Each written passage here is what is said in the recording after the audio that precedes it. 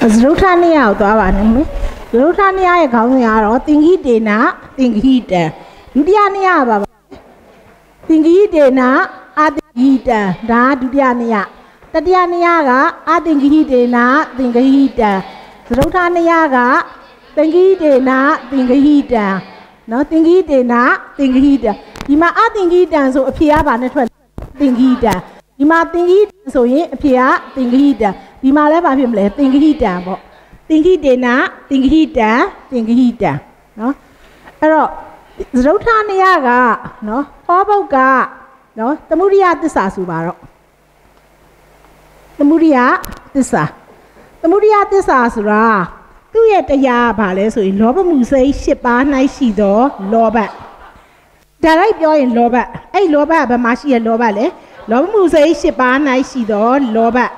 အဲ့စိတ်89ပါးမှာလောဘပါစေတသိက်ပါတာလောဘစိတ်မှာပဲပါတယ်ဒေါသစိတ်တို့တခြားစိတ်တွေမှာကုသိုလ်တို့ဝိဘက်တို့ကရိယာတို့မှာလောဘပါလို့လားမပါဘူးအဲ့တော့ဒီလောဘကပုံလောဘလောဘမှုစိတ်ရှင်းရှင်းရှိလိုက်တော့ရှင်းလိုက်ရှိတော့လောဘလို့ပြောရင်ဒီစေတသိက်ကကုန်နေဟုတ်တယ်နော်ဗာလဲအကုန်ပဲဒီဒီသမုဒိယသစ္စာဆိုရဲလောဘစေတသိက်ဒီဟုတ်တယ်နော်တခြားလောဘမရှိတော့ဘူးဒီသမုဒိယသစ္စာထဲမှာလောဘအကုန်ရှိတယ် လောဘ၈မျိုးပေါ့စိတ်၈ပါးမှာရှိတယ်လောဘ၈မျိုးစလုံးအကုန်ရှိတယ်အဲ့လိုသတ်မှတ်မယ်နော်သမုဒိယသစ္စာဆိုရင် तू ကဟောဘုတ်လို့ပြောတော့ကတားဘုတ်ဆိုရင်သမုဒိယသစ္စေနသမုဒိယဘာလဲသစ္စေနအဲ့တော့သမုဒိယသစ္စာသည်သမုဒိယဘာလဲသစ္စာသည်သည်ရေဓမ္မနော်ရေဆိုတော့အကျင့်အကျင့်သမုဒိယသစ္စာကျင့်တော့ဘာကျင့်တဲ့လဲ သမုဒိယသစ္စာကျင့်တော့ကျင့်တော့ဆိုတော့သမုဒိယသစ္စာဆိုတာဘာစေတသိက်လဲသင်္ခါရခန္ဓာစေတသိက်လောဘစေတသိက်ဒီပါလဲသင်္ခါရခန္ဓာအဲသင်္ခါရခန္ဓာစေတသိက်ဘယ်နှခုရှိလဲ90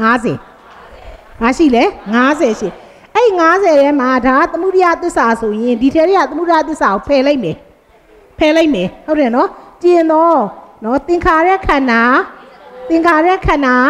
နော်49 49တို့ကိုသမုဒိယသစ္စာကျင်တော့ဆိုလောဘကျင်တော့ဒီ49ထဲမှာလောဘပါလားမပါဘူးကျင်တော့လောဘကိုတို့ကိုဆိုတော့သမုဒိယသစ္စာကဘာလဲဆိုရင်သင်္ခါရခန္ဓာဓမ္မယရဏတစ်တစ်တစ်သင်္ခါရခန္ဓာဓမ္မယရဏဓမ္မအဲ့သမုဒိယသစ္စာကလည်းသင်္ခါရခန္ဓာဓမ္မယရဏဓမ္မတတ်ဒီသင်္ခါရခန္ဓာ49ကလည်း သင်္ခါရခန္ဓာဓမ္မယရဏဓမ္မတတ်ဒါဆိုရင်သူနဲ့သူနဲ့မတူလားတူတယ်ဟုတ်တယ်နော်တူတဲ့အတွက်ကြောင့်မလို့သင်္ခါရခန္ဓာဟူသောရေတွက်ချင်းဖြင့်သင်္ခါရခန္ဓာဟူသောဗာလဲရေတွက်ချင်းဖြင့်အာယတနာမှာလဲဓမ္မယနာဟူသောရေတွက်ချင်းဖြင့်ဓမ္မနာယနာဟူသောရေတွက်ချင်းဖြင့်ပြီးတော့ဓမ္မဓာတ်ဟူသောရေတွက်ချင်းဖြင့် သမုဒိယသစ္စာသည်အကျဉ်သမုဒိယသစ္စာကျင်သောသင်္ခါရခန္ဓာ46ခုတို့ကိုရခန္ဓာဟူသောချင်းဖြင့်ရေတွက်ကုန်ဤဓမ္မယနာဟူသောရေတွက်ချင်းဖြင့်ရေတွက်ကုန်ဤဓမ္မဓာတ်ဟူသောရေတွက်ချင်းဖြင့်ရေတွက်ကုန်ဤအဲ့ဒါကိုဆိုမယ်ဆိုရင်သမုဒိယသစ္စေနာရေဓမ္မာခန္ဓာသင်္ကဟေနာသင်္ကဟိတာအာယနာသင် သင်္ကဟိတာဓာတုသင်္ကဟေနာသင်္ကဟိဟုတ်ပြီဒီတရားသည်ဒီတရားကိုကတာပုတ်သည်ရေဓမာဆိုတဲ့ကံပုတ်ကိုနှိုင်းရှင်တဲ့ပုတ်ရေဆွဲတရားကိုဟုတ်တယ်နော်သင်္ခါရခန္ဓာဆိုတဲ့ရေတွက်ခြင်းနဲ့ရေတယ်ဓမ္မယနာဟုသောရေတွက်ခြင်းနဲ့ရေတယ်ဓမ္မတဟုသောရေတွက်ခြင်းနဲ့ရေတယ်မတူလားတူတယ်သုံးခုစလုံးတူတယ်တူတော့အဲ့လိုပြောပြီးရင် तू ကဘာလာလဲဆိုရင်နော်ဒီမှာ तू က တေဟိဓမေဟိဆိုနောက်နောက်တစ်ချောင်းပို့တယ်တေဟိပါလေဓမေဟိတေဆိုတာထိုထိုထိုဆိုတာအခုပြောတဲ့အကျဉ်သမုဒိယသစ္စာကျင်တော့သင်္ခါရခန္ဓာ49ရေဓမာကိုပြောတာတေဟိဓမေဟိကဘာကိုပြောရလဲရေဓမာခုနရေဓမာခုနရေဓမာကိုပြောတာခုနရေဓမာဆိုတော့ထိုဟုတ်တယ်နော်သမုဒိယသစ္စာကျင်တော့ကျင် တော့လောက်လေသင်္ခါရခန္ဓာ49တို့သည်49တို့သည်ဒီတစ်ခေါက်ဒီပြန်ဖြစ်ပြီတို့သည်ယေဓမာနောက်တစ်လုံးပြန်လာတယ်ဘာလာလဲယေဓမာဟိဓမေဟိဟိသည်တို့သည်နော်ဟိကိုဘာနဲ့ပြန်လဲတို့သည်ယေဓမာအကျဉ်ဟုတ်တယ်နော်သူကြတော့ဟောဖို့ဒီယေဓမာသမုဒိယသစ္စာကို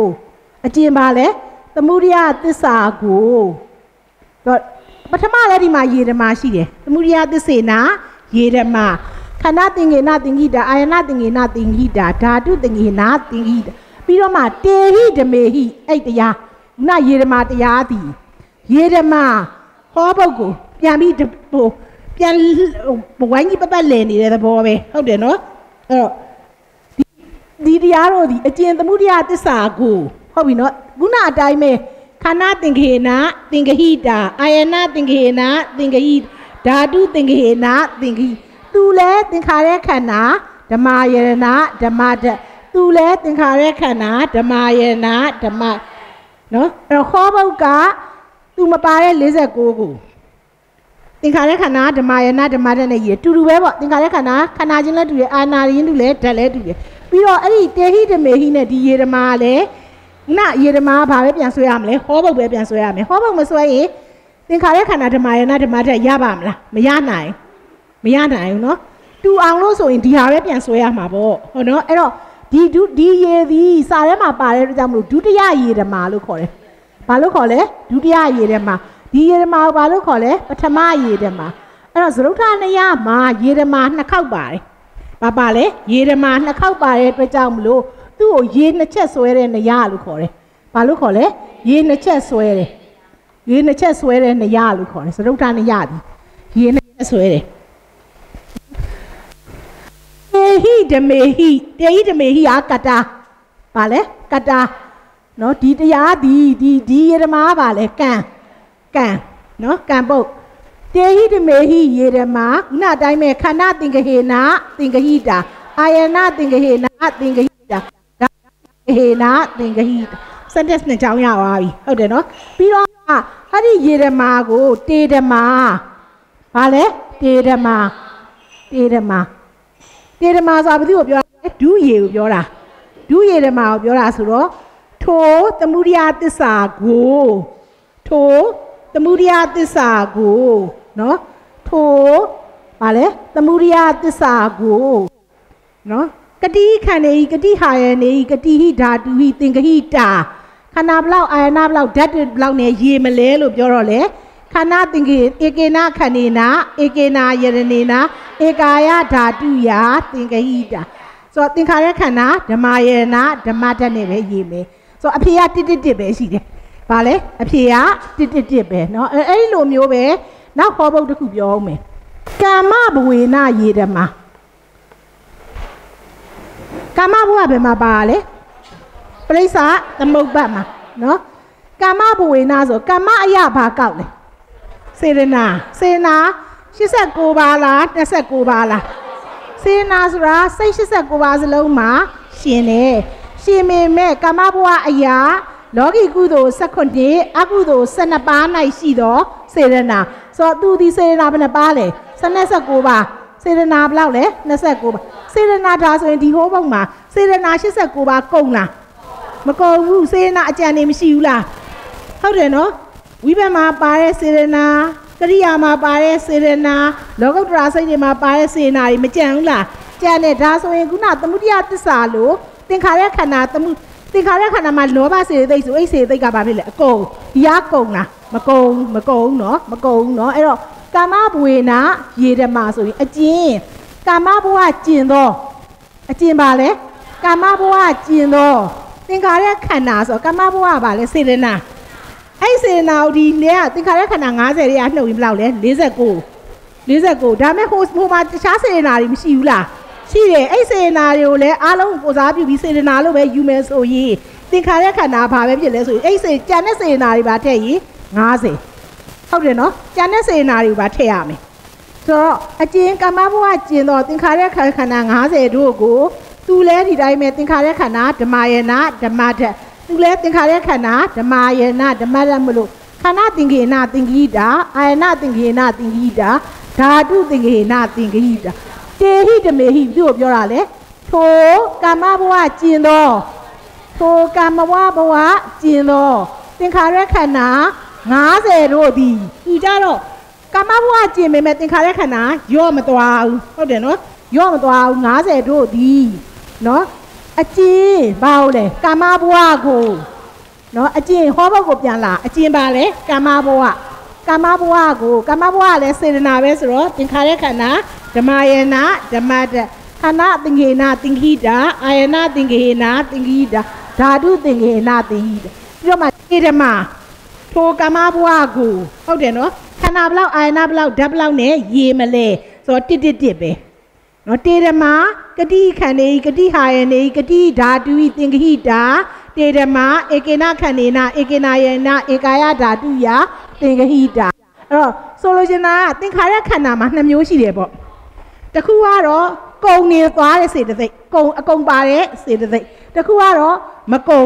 ဟုတ်တယ်နော်မကုံဥမာဖတ်တာလို့ပြောမယ် ဟုတ်တယ်နော်ဖတ်တေနာဖတ်တေနာရေရမာလို့ပြောရင်အဲ့ဖတ်တာစိတ်89မှာရှိတယ်ဖတ်တာပဲဟုတ်တယ်နော်ဖတ်တာဘယ်ကဖတ်တာပဲဖြစ်ဖြစ်ဟုတ်တယ်နော်တဗာလဲဟိုနေ့ကနမရူပပစ္စယဖတ်တော်မလားနမရူပပစ္စယဖတ်တေနာရေရမာပဲဖြစ်ဖြစ်ဟိုနော်ဖတ်တာတတကရာဒီယဖတ်တာပဲဖြစ်ဖြစ် तू ကစိတ်89ပါး၌ရှိတော့ဖတ်တာအဲ့ဆိုကုံတယ် ကုံရင် तू ကဒီမှာအကျင်ဖတ်တာကျင်တော့သင်္ခါရခန္ဓာဘယ်လောက်လဲ49ဟုတ်တယ်နော်49အဲ့လိုဖြစ်မယ်ဒီမှာနော်မေဃသစ္စာမေဃသစ္စာဆိုတာဘာလဲမဲခင်တရက်ကို10ပါးမဲခင်တရက်ကို10ပါးဆိုရင်ဟုတ်ပြီနော်ဘယ်စိတ်မှာရှိတဲ့မဲခင်တရက်ကိုရှိပါမဲစိတ်၄ပါးမဲခင်တရက်ကို10ပါးဖြစ်တဲ့တမာဒိဋ္ဌိတမာသင်္ကပ္ပတမာဒိဋ္ဌိရဘာကိုယူလဲပညာ ဟုတ်တယ်နော်ပညာကိုယူထားတာတမာသင်္ကပ္ပကဝိတက်နောက်ပြီးတော့ဝိတီ၃ပါးဟုတ်တယ်နော်ပြီးရင်တတိဧကဂရာဘာရှိလဲဝိရိယနော်အဲ့ဒီတရားတွေဒါမက်ကင်တရားကိုတွေဒါမဲ့ तू ကမက်စိတ်၄ပါးမှာရှိတဲ့တရားအဲ့တော့မက်ကသစ္စာဆိုတဲ့မက်စိတ်တရားကို၄ပါး၌ရှိတော့မက်ကင်တရားကို၈ပါးတို့သည်အကျဉ်မက်ကသစ္စာကျင်တော့မက်ကသစ္စာကျင်တော့ဆိုတော့မက်ကသစ္စာ၈ဆိုတော့90ရာနှုတ် 42ဒါပေမဲ့အဲ့ဒီမက်ထဲမှာဒီအိတ်စေသိတ်တရားပါတာမဟုတ်ဘူးတခြားလောကီကုသိုလ်တို့ဝိဘက်တို့ကရိယာတို့မှာမပါနိုင်ဘူးလားပါနိုင်တယ်ဒါကြောင့်မလို့အဲ့ဒီ၈ပါးဒီရော့မသွားဘူးသင်္ခါရခန္ဓာဘယ်လောက်လဲ90 90ပဲသူလဲ90ပဲနော်90တို့ကိုသင်ခန္ဓာဒါအတူတူပဲသင်္ခါရခန္ဓာဓမ္မယနာဓမ္မတတ်ထိုးမေဃသစ္စာကျင်သောသင်္ခါရခန္ဓာ90တို့သည်အကျင်မေဃသစ္စာကို ဟုတ်ပြီနော်အဲ့လိုပြောမယ်ခန္ဓာသင်္ကေနသင်္ကိတာအာယနာသင်္ကေနသင်္ကိတာဓာတုသင်္ကေနသင်္ကိတာပြီးတော့မှအဲ့မေဃသစ္စာကိုဘာနဲ့ရေးမလဲဟုတ်တယ်နော်ဒါဆိုရင်ဘာလဲတစ်တစ်တစ်ပဲအလုံးဟိုဟောဘုတ်ကစပြီးဟောဘုတ်နဲ့ပဲပြန်ဆုံးသွားတာနော်ဟောဘုတ်နဲ့စပြီးဟောဘုတ်နဲ့ပြန်ဆုံးသွားတာအဲ့တော့နောက်တစ်ခုကဟေတုစေဝတာဟေတုကေဟိဓမေဟိယေဓမာဟုတ်လားဟေတုစေဝတာဟေတု တာဟေတုကေဟိဓမေဟိစပါတော့နော်ယေဓမာအဲ့တရားအဲ့တရားယေဓမာနော်ဟေတုစေဝတာဟေတုကေဟိဆိုဟိတ်ဟိတ်လည်းဖြစ်ရမယ်ဟိတ်နဲ့လည်းဟိတ်နဲ့လည်းလည်းတကွာအတူတူရှိရမယ်ဟိတ်ရှင်ပေါ်ရှင်ဘဲဟိတ်လည်းရှိရမယ်ဟိတ်လည်းဖြစ်ရမယ်ရှင်ပေါ်ရှင်ဘဲဟိတ်လည်းရှိရမယ်လို့ပြောတော့လောဘစိတ်ဆိုရင်လောဘမောဟနှစ်ခုရှိတယ်ဟုတ်တယ်နော်အဲ့ဒီလောဘစိတ်မှာရှိတဲ့လောဘနဲ့မောဟဒီဟိတ်တွေလည်းဖြစ်ကြတယ် လောဘကလည်းမောဟိမောဟနဲ့ရှင်ဘဲရှိတယ်မောဟကလည်းလောဘနဲ့ရှင်ဘဲရှိဒေါသမူကြကလည်းဒေါသနဲ့မောဟဟုတ်တယ်နော်ဒေါသကလည်းနှစ်ခုစလုံးဟိတ်ဖြစ်တယ်ဒေါသကလည်းမောဟရှင်ပေါ်ရှင်ဘဲရှိတယ်မောဟကလည်းရှင်ပေါ်ရှင်ဘဲမောဟမှုမှာရှိတဲ့မောဟမရှိတော့ဘူး तू ကဟိတ်တော့ဟုတ်တယ်ဟေတုဟေတုစေဝတော့ဟုတ်တယ်တဟေတုဟုတ်လားမဟုတ်ဘူးဒီလိုဆိုရင်ဒီတရားကဘာလဲဆိုရင်မောဟမှုတွေမှာရှိတဲ့ဟုတ်တယ်နော်မောတွေမောကျင် မောတွေမောကျင်ဟိတ်6ပါမောတွေမောကျင်ပါလေဟိတ်6ပါဟိတ်6ပါနော်6ပါမောတွေမောကျင်ဆိုလိုချင်တာဒီဟိတ်6ပါထဲမှာမောဟကုံသွားလားမကုံဘူးမောဟအကြံရှိနေတယ်မောဟမှုတွေရဲ့မောဟတော့မပါဘူးလောဘရဲ့မောဟပါတယ်ဒေါသရဲ့မောဟပါတယ်ဟိုဘက်ကအလောဘအဒေါသအမောဟကတော့အကုန်လုံးနှစ်ခု အနည်းဆုံးနှစ်ခုမရှိရင်ဒွိဟိတ်ဆိုနှစ်ခုတိဟိတ်ဆိုရင်သုံးခုဆိုစဉ်းစားစရာမလိုတော့အကုန်လုံးအဲအကြောင်းမလို့ဒီမှာကြတော့အကျဉ်ဟုတ်တယ်နော်အကျဉ်ဘယ်တရားကျင်တော့လဲနော်ဒီဒီဒီတရားဟောပုတ်ကျင်တာပေါ့ဗာလဲဟောပုတ်ကျင်တော့အလွယ်တကူပြောရင်ဟောပုတ်ကျင်တော့နော်သင်္ခါရခန္ဓာဘလောက်ကိုလဲသင်္ခါရခန္ဓာဘလောက်ကိုလဲခန္ဓာဘလောက်ကိုလဲလက်ကို90တဲက 6ကိုနှုတ်လောက်လေ44အဲ့44ထဲမှာမောဟမှုတွေရဲ့မောဟကိုပြန်ထည့်ဒီ6ပါးထဲမှာလေဟုတ်တယ်နော်6ပါးဟိတ်6ပါးကိုနှုတ်အဲ့ထဲမှာမောဟတစ်လုံးကတော့အကြံနေသေးတယ်မောဟမှုတွေရဲ့မောဟတစ်လုံးကိုပြန်ထည့်တော့ဘယ်လောက်လဲ45 45 50မပြည့်ဘူးဟုတ်တယ်နော်50မပြည့်ဘူးအကယ်၍ဒီမှာဟေတုဓမ္မာလို့ပြောရင်တော့ဟေတုစေဝတာဟေတုကမဟုတ်ဟေတုဓမ္မာလို့ပဲပြောမယ် ဟေတုဓမ္မာဆိုရင်တော့ဘာမှပြောနေဟိတ်6ပါးဟိတ်6ပါးဆိုသင်္ခါရခန္ဓာ44သင်္ခါရခန္ဓာ44သဘောပေါက်လားမသိပေါက်တယ်နော်အဲ့တော့ဆိုလိုချင်တာကဟုတ်တယ်နော်ကျမတို့ကဒီသင်္ခါရခန္ဓာတွေမှာ50ပြည့်သွားတာလည်းရှိတယ်50အပြည့်ကိုတိုင်းလည်းရှိ50ထက်ဘာဖြစ်လဲရော့တာကြီးလည်းရှိတယ်နော်50အတိုင်းပဲရေဆွဲလိုက်ရင်50ပဲဖြစ်သွားတာလည်းရှိတယ်50ထက်ရော့တာကြီးရှိတယ် အဲ့50ထက်ရော့တာဒီမှာလေဥမာဟေတုဓမ္မဆို50တဲ့က6နှုတ်44ဒီဒီကနှုတ်ယုံပဲပြန်ပေါင်းစရာရှိလားမရှိဘူးတချို့ကျတော့အဲ့ပြန်ပေါင်းပြန်ပေါင်း50တော့မပြည့်ဘူးပေါ့ဟုတ်တယ်နော်ဆိုလေးတော့ပုံမသွားဘူးလားပို့သွားရင်အဲ့လိုမျိုးလေးတော့ရှိမယ်နော်အဲ့လိုမျိုးလေးအဲ့ဒါလေးတွေကဘယ်မှာပဲရှိလဲဆိုခုနတော့ဟာနော်အမတာယောစနာတန်ယောတန်ယောစနာစေဝဟုတ်တယ်နော်တန်ယောစနာစေဝတန်ယောစနာတံပြုတ်တာအဲ့အဲ့လိုမျိုးတွေမှာအန္တတံ ပြုတ်တာစနော်အဲ့အဲ့လိုတွေမှာရှိမယ်ဩဃစေဝဩဃပြုတ်တာစယောဂစေဝယောဂတံပြုတ်တာစကိလေသာတို့និဝရဏတို့မှာမပါဘူးကိလေသာတို့និဝရဏတို့ကအမြဲရှင်ပေါ်ရှင်ဘက်ရှိတယ်နော်ကိလေသာဆိုရင်မောဟကိလေသာဆိုဘယ်နှပါလဲ10ပါ10ပါဆိုရင်လောဘတွေက3ခုစလုံးပါတယ်နော်လောဘတွေကပါလဲ3ခုစလုံးလောရယ်ဒိဋ္ဌိရယ်မာနရယ် လောဘထဲမှာမောဟအောင်မရှိလားရှိတယ်ပြီးရင်ဌိနာနဲ့မိဋ္ဌဌိနာပါတယ်ကိလေသာမှာဌိနာပါတယ်လေမိဋ္ဌပဲမပါတာအကုသိုလ်မှာအကုသိုလ်မှာဒေါသရယ်မောဟရယ်ဌိနာရယ်မပါဘူးလားအကုသိုလ်မှာဒေါစတုတ်ထဲရလေအိတ်တာမစ္စရိယကုတ်ကုတ်စာကိလေသာမထိုက်ဘူးစေတသိက်ဘယ်လောက်ရှိလဲအကုသိုလ်စေတသိက်ဘယ်နှပါရှိလဲ14ပါး14ပါးမှာမိဋ္ဌနဲ့အိတ်တာမစ္စရိယကုတ်ကုတ်စာကိလေသာမထိုက်ဘူး မထိုက်တဲ့အတွက်ကြောင့်မလို့ဟာဒေါသမှာပါတဲ့ကိလေသာလို့ပြောရင်ဒေါသရယ်မောဟရယ်ဌိနာရယ်မောဟဆိုတာမောစတုတ်လေးပေါ့စိတ်တွေအားလုံးမှာပါလေမောစတုတ်လေးဆိုတော့လောဘမှုစိတ်တွေဆိုရင်မောစတုတ်က၄ပါးလောဘဒိဋ္ဌိမာနပါတဲ့အခါဒိဋ္ဌိနဲ့မာနအတူတူမရှိဘူးเนาะဘာပဲဖြစ်ဖြစ်လေ तू ကကိလေသာတွေအများကြီးမပါဘူးလားရှင်မောရှင်ဘက်ဒီမှာလဲကိလေသာတွေအများကြီးပဲတခါဝီစီကိစ္စသဟာကုတ်စိတ်ဆိုလဲကြည့် ဟုတ်တယ်နော်ဝီစီကိစ္စသဟာကုတ်စိတ်ဆိုရင်ဝီစီကိစ္စမောစတုတ်လေးမဟုတ်လားမောစတုတ်၄ပါးနော်နောက်ပါရှိသေးလဲဝီစီကိစ္စမောစတုတ်လေးထိနာတွေမိတ်တာတွေမပါတော့ဘူးဟုတ်တယ်နော်ဆိုတော့သူလည်းမများဘူးလားဝီစီကိစ္စနဲ့မောစတုတ်လေးဥဒိစ္စသဟာကုတ်ဆိုရင်ဥဒိစ္စသဟာကုတ်ဆိုရင်ဒီဒီအပေါင်းမောစတုတ်လေးတွေကသူကိုယ်တိုင်ဆိုတော့ကျန်တဲ့၃ပါးသူ့မှာပါတယ်ဆိုတော့သူ့မှာရှင်ဘောရှင်ဘက်ကကိလေသာလည်းဖြစ် ကိလေသာနဲ့ရှင်ဘောရှင်ဘက်တရားတွေလည်းအကုန်မရှိဘူးလားရှိနေရှိနေတဲ့အတွက်ကြောင့်မလို့သူကကိလေသာစေဝကိလေသာတံပြုတ်တာစလို့ပြောရင်90တဲက30ဦးနှုတ်40ပဲအပေါ်မကြံဘူးသူစီမှာ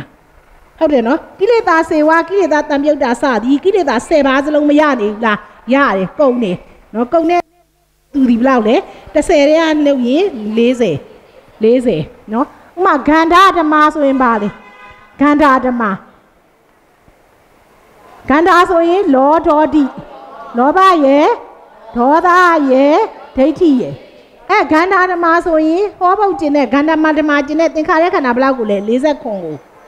50တဲက3နှုတ်မဟုတ်ဘဲနဲ့ဂန္ဓာစေဝဂန္ဓာတံမြုတ်တာစဂန္ဓာပါလဲစေဝဂန္ဓာတံမြုတ်တာစ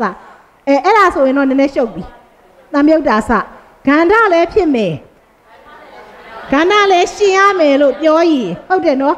ဒိဋ္ဌံလေးဒိဋ္ဌံလေးကလောဘနဲ့ဒိဋ္ဌိမရှိဘူးလားလောဘနဲ့ဒိဋ္ဌိဂန္ဓာလည်းဖြစ်ဂန္ဓာရှင်ပေါ်ရှင်ဘက်လည်းရှိတယ်ဒိဋ္ဝိတ်လေးဒိဋ္ဝိတ်လေးလောဘပဲပါတယ်သူကြမရှိတော့ဘူးဟုတ်တယ်နော်ဟုတ်တယ်နော်သူကြသူ့ကိုယူလို့ရမလားဂန္ဓာပဲဖြစ်တယ်ဂန္ဓာရှင်ပေါ်ရှင်ဘက်မရှိတော့သူ့ကိုယူလို့မရတော့ပြီးရင်ဒေါဒဒေါသဒေါသပဲရှိတယ်ဟုတ်တယ်နော်ဒေါသရှိတယ်ရလားမရဘူးဟုတ်တယ်နော် နောက်တစ်ခါလောလောဒေါတိနော်လောဒေါတိဆိုတော့လောဘနဲ့ဒေါသကိုပဲကြည်ရမှာပေါ့ကျန်အောင်စဉ်းစားစရာမလိုအဲလောဒေါတိဟာဒိဋ္ဌံလေးမှာရှိရဲ့လောနဲ့တိကိုပဲယူလို့ရသွားမယ်ဂန္ဓာစေဝဂန္ဓတံပြုတ်တာဆိုတာဂန္ဓလည်းဖြစ်တယ်ဂန္ဓရှင်ဘောရှင်ပဲလည်းဖြစ်တယ်ဆိုနှစ်ခုပဲ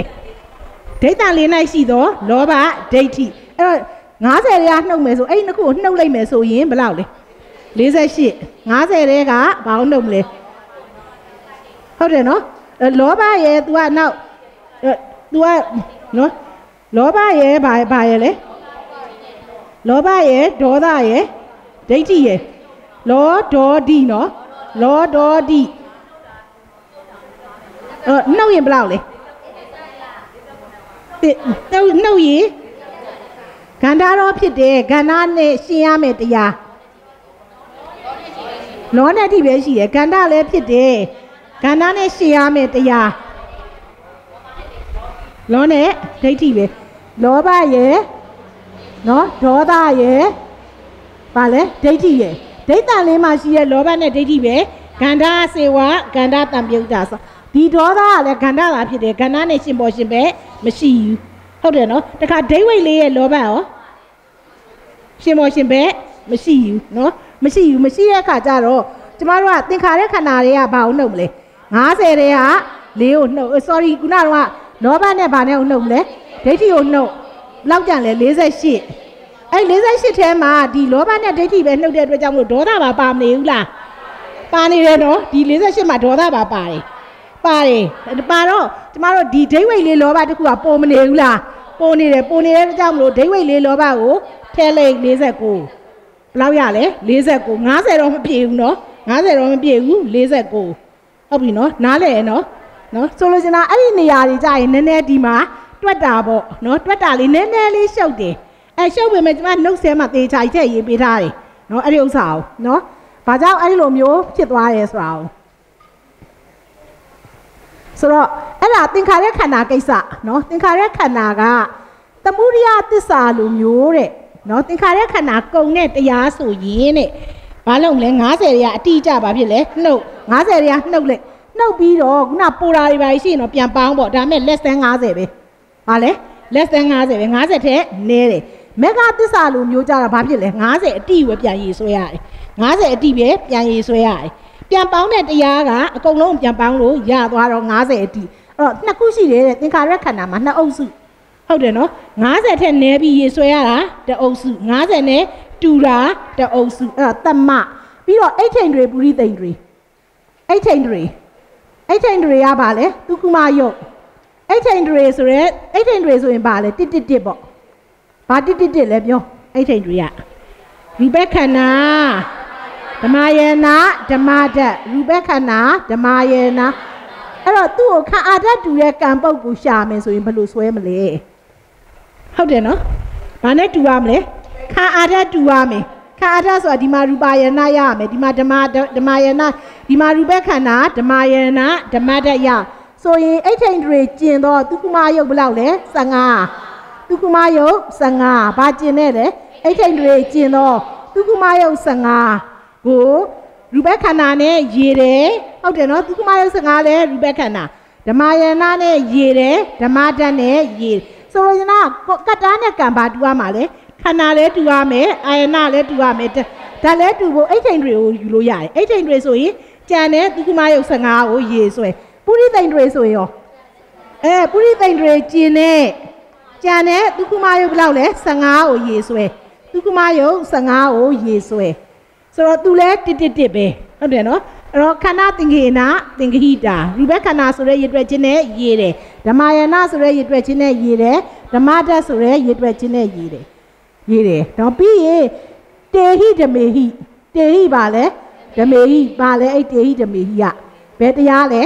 အဲ့ဒီသူကုမယုတ်15ဒီတရားကိုရေဓမာကိုပြန်ယူရမယ်အဲ့ချိန်တွေကျင်နေ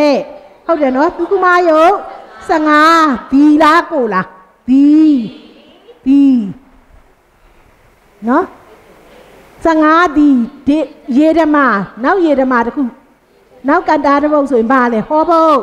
အိတ်ထိန်တွေကိုအကြည်အိတ်ထိန်တွေကိုအကျင်ပါလဲအိတ်ထိန်တွေကိုအိတ်ထိန်တွေကိုဆိုတော့ဒီသုကမယုတ်15ကလည်းရူပခန္ဓာဓမ္မယနာဓမ္မတသူကလည်းရူပခန္ဓာဓမ္မယနာဓမ္မတနော်ခန္ဓာသင်္ကေနသင်္ကဟိတာအာယနာသင်္ကေနသင်္ကဟိတာဓာတုသင်္ကေနသင်္ကဟိတာပြီးတော့အဖြေကအဲ့အိတ်ထိန်တွေကိုတေဓမတေဓမဆိုတာဘာလို့လဲဒီတစ်ခေါက်တေဓမသည်ဒီယေဓမ ဒီယေဓမဆိုတော့ထိုအိတ်ထိန်တွေကိုထိုအိတ်ထိန်တွေကိုနော်ခန္ဓာဘလောက်အာယနာဘလောက်ဓာတ်ဘလောက်နဲ့ရေမလဲဆိုရင်သူ့ကိုဘလောက်နဲ့ရေမလဲတစ်တစ်တစ်နဲ့ပဲရေမယ်ဆိုတော့သရုပ်ထနေရကကနန်းတစ်တစ်တစ်ပဲရှိတယ်ဘာပဲရှာလဲတစ်တစ်တစ်ပဲတစ်တစ်တစ်ပဲနော်အဲ့ဒါသူပုရိသိန်တွေဆိုလဲအဲ့တိုင်းပဲပုရိသိန်တွေသည်အကျဉ်ပုရိသိန်တွေကျင်တော့သူကုမယုတ်15ကိုရူပခန္ဓာဟူသောရေတွက်ခြင်းဖြင့်ရေတွက်ကုန်၏ ဓမ္မယနာဟူသောရေတွက်ခြင်းဖြင့်ရေတွက်ကုန်ဓမ္မတဟူသောရေတွက်ခြင်းဖြင့်ရေတွက်ကုန်၏ထိုအိတ်ထိန်တွေကျင်သောသူကုမယုတ်15ခုတို့သည်အကြည်အိတ်ထိန်တွေကိုဟုတ်ပြီနော်ဘယ်လိုရေးမလဲခန္ဓာခန္ဓာရူပခန္ဓာဟူသောရေတွက်ခြင်းဖြင့်ရေတွက်အပ်၏ဓမ္မယနာဟူသောရေတွက်ခြင်းဖြင့်ရေတွက်အပ်၏ဓမ္မတဟူသောရေတွက်ခြင်းဖြင့်ရေတွက်အပ်၏ထိုအိတ်ထိန်တွေကို အဘယ်များသောခန္ဓာအဘယ်များသောအာယနာဘယ်များသောဓာတ်တို့ဖြင့်ရေတွက်အပ်သည်နီထိုအိတ်ထိန်တွေကိုရူပခန္ဓာတစ်ခုသောရူပခန္ဓာတစ်ခုသောဓမ္မယနာတစ်ခုသောဓမ္မဓာတ်တို့ဖြင့်ရေတွက်တစ်ခုသောတစ်ခုသောရူပခန္ဓာဖြင့်ဟုတ်တယ်နော်တပါးသောဓမ္မယနာဖြင့်ဓမ္မသောဓမ္မဓာတ်ဖြင့်ရေတွက်အပ်ကုန်၏နော်ဟုတ်ပြီနော်အဲ့ဒါအိတ်ထိန်တွေလည်းရတယ်သင်္ခါရခန္ဓာရဲ့အိတ်ထိန်တွေပုရိသိန်တွေဆိုရဲသူကုမယုတ်တစ်စိတ်ရဲ့ အဲ့သင်္ခါရခန္ဓာခန္ဓာ၅ပါးတဲ့ကခန္ဓာ၅ပါးထဲမှာသင်္ခါရခန္ဓာမရှိဘူးလားသင်္ခါရခန္ဓာအပြည့်ရတာလေခန္ဓာ၅ပါးရဲ့ရူပခန္ဓာဝေဒနာခန္ဓာသင်္ညက်ခန္ဓာသင်္ခါရခန္ဓာအဲ့ဒီသင်္ခါရခန္ဓာဟောဖို့ကိုဟောလို့ရမလားရမလားသင်္ခါရခန္ဓာသူကိုယ်တိုင်ရမလောက်လဲ90 90ကို90ရနှုတ်3ညဆို3ညဆိုခန္ဓာအာယနာတက်ဖွဲ့လို့မရတော့ဘူးဒါကြောင့်မလို့သူ့ကိုဟောလို့မရဟုတ်တယ်နော်သင်္ခါရခန္ဓာဟောဖို့ဘာမှဘယ်လောက်ရှိရလဲခုန59 59အဲ့တော့ဒီစတုထနိယမှာသင်္ခါရခန္ဓာတွေဟောပေမဲ့အစိတ်ပဲဟောမယ်ဘာပဲဟောမလဲအစိတ်အစိတ်ပဲဆိုရင်58ပုတ်ပဲဟောမှာပေါ့ဟုတ်တယ်နော်58ပုတ်ပဲဟောမယ်အဲ့58ပုတ်မှာမှာခုနကတော့လို့90အောက်ဖြစ်သွားပြီးရေဆွဲတာ43ပုတ်ရှိတယ်။မရှိလဲ43ပုတ်90နဲ့90ပဲအတိအကျပြန်ရေဆွဲရတာ15ပုတ်ရှိတယ်။43 15အဲ့58နော်58က90ထက်အောက်ရေဆွဲရတာဘယ်လောက်လဲ43 50အတိအကျပြန်ရေဆွဲရတာ15ပုတ်ပဲရှိတယ်သင်္ခါရခန္ဓာမှာဒုက္ခမယုတ်ကတော့အိဋ္ဌိန်တွေနဲ့ပုရိသိန်တွေနှစ်ပုတ်ပဲရှိတယ်နှစ်ပုတ်ပဲဆိုတော့15ပဲအိဋ္ဌိန်တွေအတွက်လည်း15ပုရိသိန်တွေအတွက်လည်း15ပြီးရင်ကျမတို့ဒီမှာဘာဟောအောင်လဲဆိုရင်ဝေဒနာအစိတ်တွေဟောအောင်မယ်ဘာတွေဟောအောင်လဲဝေဒနာအစိတ်ဝေဒနာအစိတ်ကဘယ်နှပုတ်ရှိရလဲ10ပုတ်10ပုတ်ဟုတ်တယ်နော်10ပုတ်ဆိုလို့ရှင်တာဒုက္ခိန်တွေဟောမယ်ဒုက္ခိန်တွေ ဒုက္ခိန်တွေဆိုရင် तू ကဘာခန္ဓာလဲဝေဒနာခန္ဓာဓမ္မယရဏဓမ္မတတ်ဝေဒနာခန္ဓာဓမ္မယရဏဓမ္မတတ်အဲ့တော့ဒီမှာကံပုတ်ကဘာဖြစ်မလဲကံပုတ်ကဟုတ်တယ်နော်အိန္ဒြေအေးဒုက္ခိန်တွေဆိုရင်အိန္ဒြေကဝေဒနာအိန္ဒြေကဘယ်နှပါးရှာလဲ၅ပါး၅ပါးဆိုရင် तू ကဒုက္ခိန်တွေဆိုရင်ဒုက္ခိန်တွေကျင်တဲ့ကြံတဲ့၄ပါးဘာလဲဆိုရင်ကြံတဲ့၄ပါးကဒုက္ခိန်တွေ သောမနတိန်တွေဒေါမနတိန်တွေဥပိခိန်တွေဟုတ်တယ်နော်အကျဉ်ဟုတ်တယ်နော်ဒုက္ခိန်တွေကျင်တော်ဆိုရင်ဝေဒနိန်တွေ၄ပါးအဲ့လိုရေးမယ်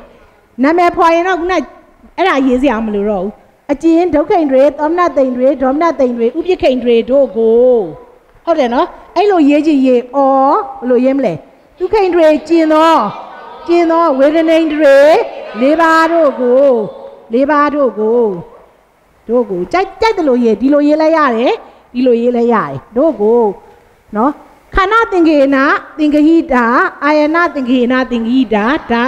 ဓာတုသင်္ကေနသင်္ကဟိတာသူလဲဒီဝေနေတွေ၄ပါးဆိုတာဝေနဲ့ခန္ဓာပဲဓမ္မယရဏပဲဓမ္မဓာတ်ပဲနော်အဲ့တော့ဒီမှာဒုက္ခိန်တွေဆိုရင်ဒီလေးပုတ်ကဲရဒုက္ခိန်တွေဆိုရင်ဒုက္ခိန်တွေဆိုရင်ဒုက္ခိန်တွေကျင်သောဝေနေတွေ၄ပါးဒါမှမဟုတ်ရင်ဒီမှာ ဟုတ်တယ်နော်သူခိန်တွေသောမနတိန်တွေဒေါမနတိန်တွေဥပိခိန်တွေသောမနတိန်တွေဆိုရင်သောမနတိန်တွေကျင်သောဝေနေတွေ၄ပါးဒေါမနတိန်တွေဆိုရင်ဒေါမနတိန်တွေကျင်သောဝေနေတွေ၄ပါးဥပိခိန်တွေဆိုရင်ဥပိခိန်တွေကျင်သောဝေနေ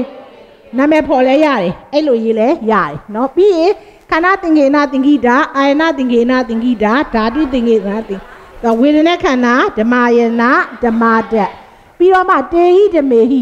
ဟုတ်ပြီနော်ဒုက္ခမယုတ်15ခုတို့သည်နော် sorry ဒုက္ခမယုတ်15တဲ့ထိုဟုတ်တယ်နော်ထို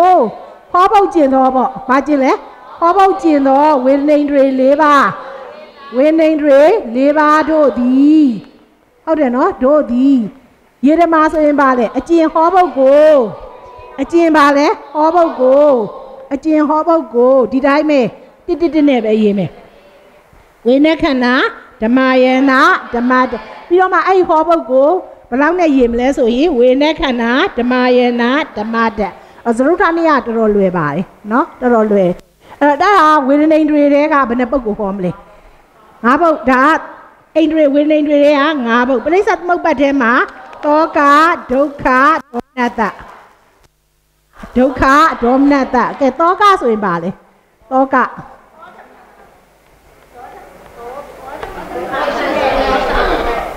ကဒေါမနတဝေဒနာ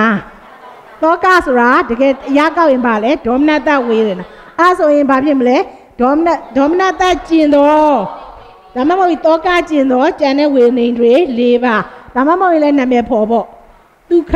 ဒုက္ခသောမနတဥပိ္ပခာเนาะအဲ့လိုဖော်လို့ရတယ်တောကနဲ့ဒေါမနတအတူတူပဲဒေါမနတကအတူတူပဲဒုက္ခကြတော့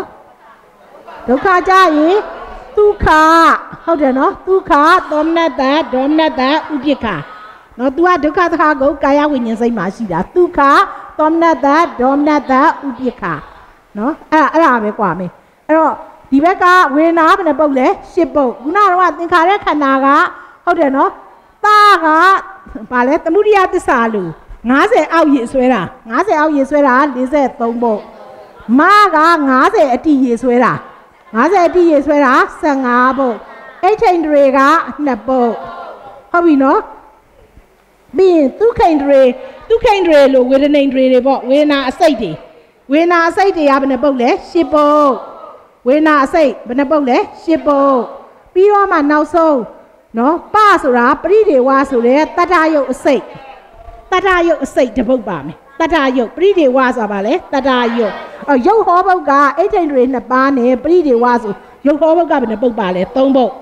ဝေဒနာဟောပုတ်က10ပုတ်သင်္ခါရခန္ဓာဟောပုတ်ကဘယ်နှပုတ်ပါလဲ58ပုတ်သင်္ခါရခန္ဓာဟောပုတ်က58ပုတ်ရေဆွဲတာမတူတာကိုလိုက်ပြီးအကျဉ်းဆောင်ပုတ်မှာတာတအုပ်စုမကတအုပ်စုအဲ့တော့သရုတ်ထနရရဲ့အကျဉ်းဆောင်ပုတ်ဒီတာမဤတုပဗာလဲ တာမဤတုတာရ90အောက်ကိုရေဆွဲတယ်သင်္ခါရခန္ဓာ90တဲ့နဲအောင်ရေဆွဲတယ်43ပုတ်မအရာသင်္ခါရခန္ဓာ90အပြည့်ကိုပြန်ရေဆွဲရတယ်15ပုတ်ဣရာအိတ်ထိန်တွေပုရိသိန်တွေဆိုရဲသူကမယုတ်အစိတ်2ပုတ်သူရဝေနာအစိတ်10ပုတ်ပါယတတယုတ်အစိတ်1ပုတ်တော့ပရိထေဝကိုပြောတာအဲ့တော့ပရိထေဝဆိုတာကျမတို့တတယုတ်ဆိုတာအတန်အောင်ပြောတာအတန်ဒီအကြောင်းတရားနှစ်ပါးကြောင့်ဖြစ်တယ် စိတ်ကြောင့်ဖြစ်တဲ့တတ္တရဲ့ဥရုကြောင့်ဖြစ်တဲ့တတ္တရဲ့နှစ်မျိုးရှိတယ်တတ်တော်စိတ်တော်တူဇောဆိုပြီးဒါခုနေ့မှာပါလေနော်အပြီးဒီမှာတင်းကြိုလက်တန်းကထာခရာပြောထားတာတတ်တော်စိတ်တော်တူဇောဆိုတာတတ္တဒီစိတ်စိတ်ကြောင့်လည်းဖြစ်တယ်စိတ်တစတတ္တစိတ်ကြောင့်ဖြစ်တဲ့တတ္တကိုဘာလို့ခေါ်လဲစိတ်တစတတ္တ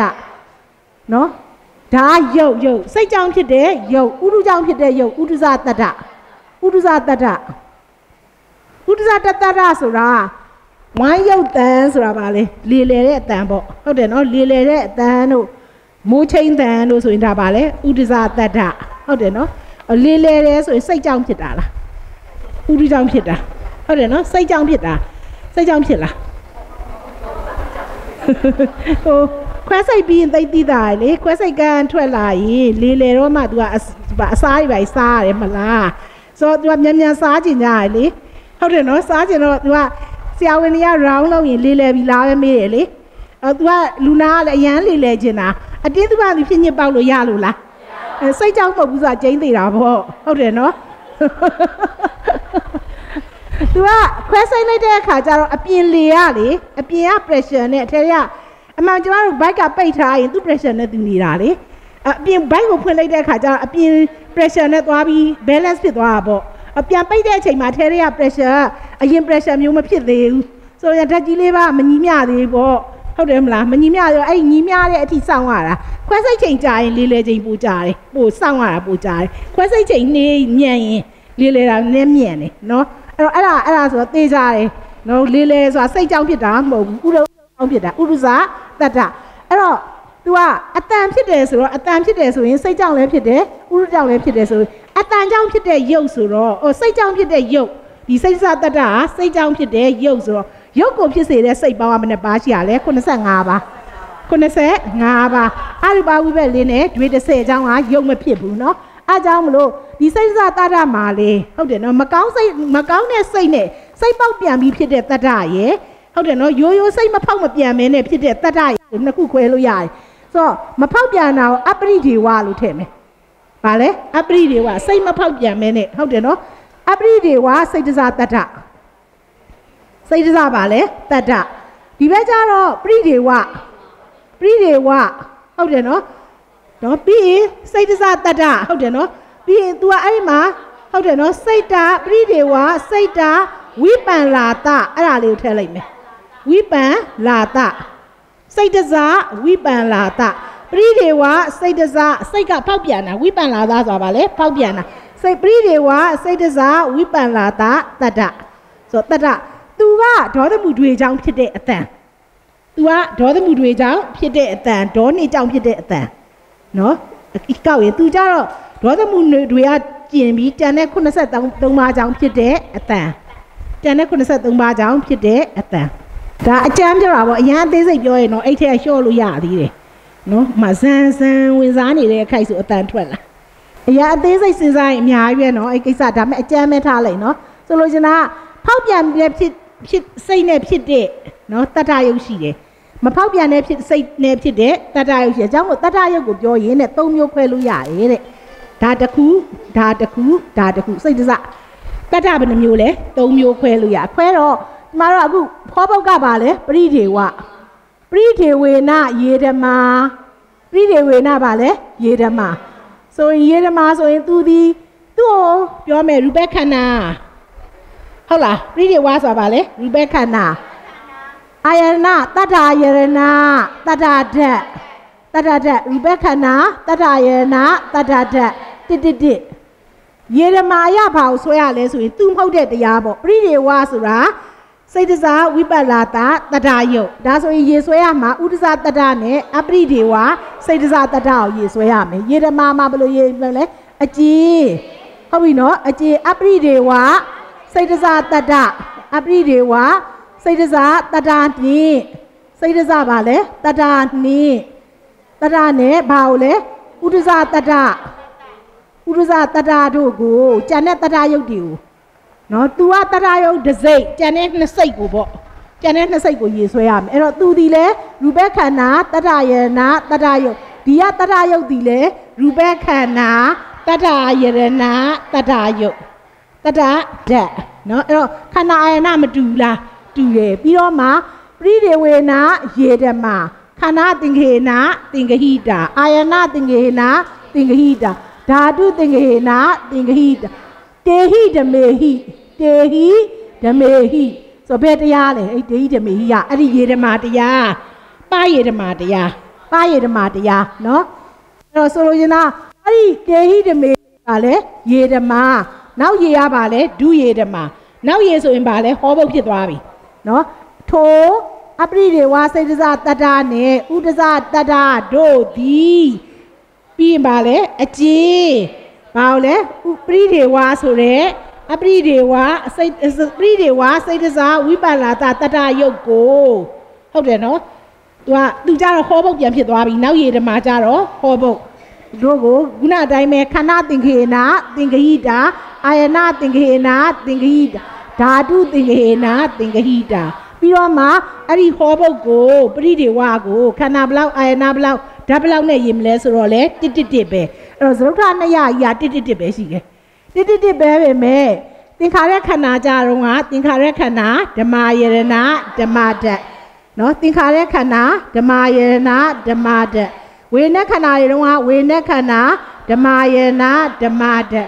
ဒုက္ခမယုတ်ကြတော့ရူပခန္ဓာဓမ္မယရနာဓမ္မတတ်အခုပရိဒေဝါကြတော့ရူပခန္ဓာတတ္ထယရနာတတ္တတတ်တိတိတိပေမဲ့သေချာခွဲရင်၄မျိုးခွဲလို့မရဘူးလားဟုတ်တယ်နော် သေချာခန္ဓာအယနာတက်ကိုနာမည်ဖော်ပြီးခွဲမယ်ဆိုရင်ဘယ်နှမျိုးခွဲလို့ရလဲ၄မျိုးတစ်တစ်တစ်ပေမဲ့ဟုတ်တယ်နော်အားလုံးကတော့တစ်တစ်တစ်ပဲရတာပဲတစ်တစ်တစ်ပဲနော်အဲ့တော့ပြောရင်သအုပ်စုမှာသင်္ခါရခန္ဓာနော်သင်္ခါရခန္ဓာ56မှာသင်္ခါရခန္ဓာအပြည့်ကိုဟောလို့မရတော့58ပုတ်ပဲဟောလို့ရတော့တယ်အဲ့58ပုတ်မှာသင်္ခါရခန္ဓာ90ထက်ငယ်နေပြီးရေဆွဲရတာ53ပုတ် မသင်္ခါရခန္ဓာ90နဲ့တူပြီးတော့ရေဆွဲရတာ15ပုံအိဋ္ဌိန္ဒြေ2ပုံပုရိသိန္ဒြေเนาะသူ့ဝေဒနိန္ဒြေအစိတ်ဝေဒနာအစိတ်10ပုံပြီးရင်ပပရိဒေဝတပုံအလုံးပေါင်းရင်သူက58သူက68သူက69ဟုတ်ပြီเนาะ69 69ဆိုရင်เนาะ90တပုတ်ရော့လို့ခေါ်တယ် ဘာလို့ခေါ်လဲ80တပုတ်ရော့အဲ့ဒါကိုတခုရော့ကိုဧကုဏဧကုဏတတ္တတိဧကုဏပါလဲတတ္တတိတတ္တတိဆိုတာ80ဧကုဏဆိုတာတိရော့80ကိုတိရော့69ပုတ်သရုပ်ထာနိယမှာဟောတာဘာတွေဟောတာလဲခန္ဓာအာယနာဓာတ်တူကြတယ်ဘာနဲ့ပါလဲဟောဘုတ်ကတာဘုတ်နဲ့ကံဘုတ်တို့သည်